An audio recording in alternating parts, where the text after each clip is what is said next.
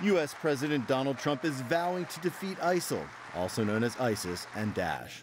We have to get rid of ISIS. We have to get rid of ISIS. We have no choice. As Russia and the U.S. seem poised to work together in new ways to fight terrorism.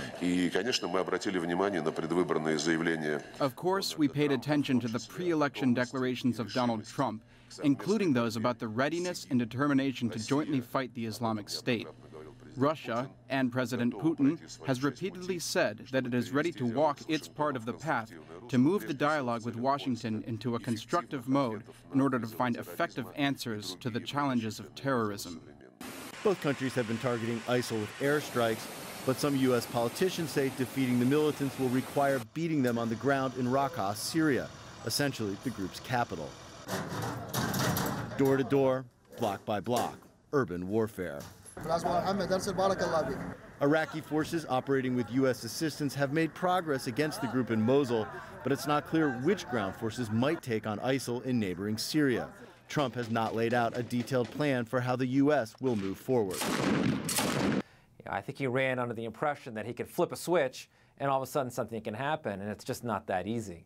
And so I think what they're going to see is it's a lot of boots on the ground. And that will be when Donald Trump will have to decide, you know, do I put all my chips down on the indigenous forces or do I send in U.S. troops?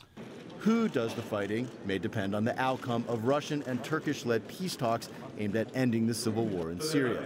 But even a military victory on the ground that destroys ISIL's home base in Raqqa won't eliminate the global terrorism threat the group presents.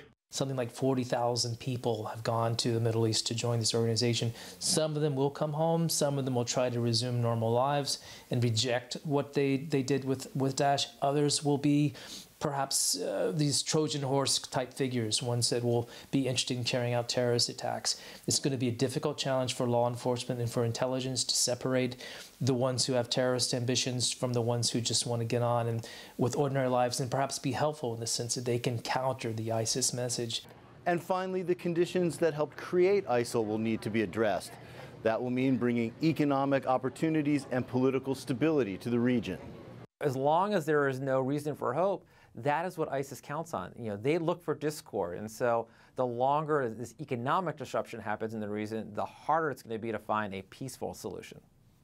But finding hope may be the biggest challenge of all. Jim Spellman, CGTN,